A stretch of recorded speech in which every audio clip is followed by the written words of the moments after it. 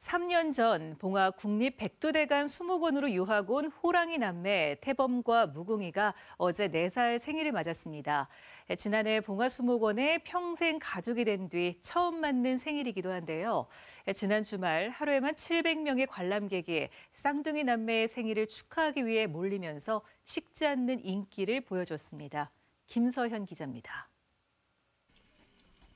특식이 든 선물 상자에 조심스럽게 접근하던 호랑이. 마침내 상자 모서리를 야무지게 물고는 지면을 박차고 신나게 뛰어갑니다.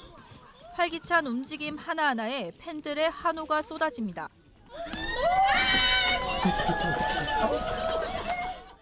올해로 4살이 된 쌍둥이 한국 호랑이, 오빠 태범이와 여동생 무궁이.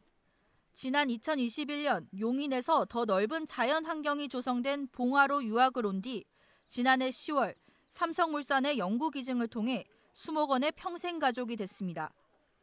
코로나 시기 태어날 때부터 주목을 받았던 범국 남매는 외진 백두대간에 살게 된 뒤에도 그 인기가 식지 않았습니다.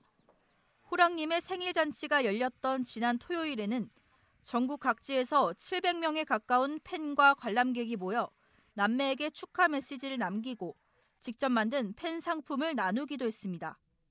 지역별로 이렇게 뭐 차를 대절해 갖고 오시는 분들도 계셨고 케이크를 준비해 갖고 오신 분도 계시고 너무나 행복하고 즐거운 시간을 보내고 왔어요. 경북 봉화 조금 외지잖아요. 조금 잊혀질까봐 많이 다들 걱정을 하셨어요. 계속 관심을 가진다는 걸 좀 많이 알리고 싶었거든요. 음. 이번엔 특히 애들 그 저희 말로 정직원 되고 난 후라서 더 많이 힘 실어 주려고 생일 당일인 어제도 남매의 생일을 축하하기 위해 평일이지만 연차를 내고 봉화까지 찾은 직장인 팬들도 있었습니다. 연구 이전하게 돼서 계속 여기 환경이 좋은 곳에서 계속 볼 수 있게 돼서 감회가 새롭고 앞으로도 계속 건강하고 행복하게 잘 살았으면 좋겠습니다. 3년 전 막 봉화에 도착했을 때만 해도 20개월의 아기 호랑이였던 태범이와 무궁이.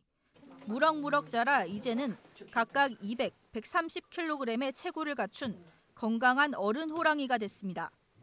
성체 호랑이 특유의 기질이 두드러지는 모습도 보입니다. 성체가 된 이후로는 아무래도 이제 본능적으로 서열 관계가 이제 정립이 되기 시작하면서 이제 뭐 같은 장난감이나 이런 걸 놓았을 때도 이제 태범이가 가지고 놀면 무궁이가 양보하는 이제 그런 모습을 많이 보이고요. 호랑이 남매가 백두대간의 자연 환경을 마음껏 누비며 건강하게 생활하는 게 많은 이들의 바람입니다. MBC 뉴스 김서연입니다.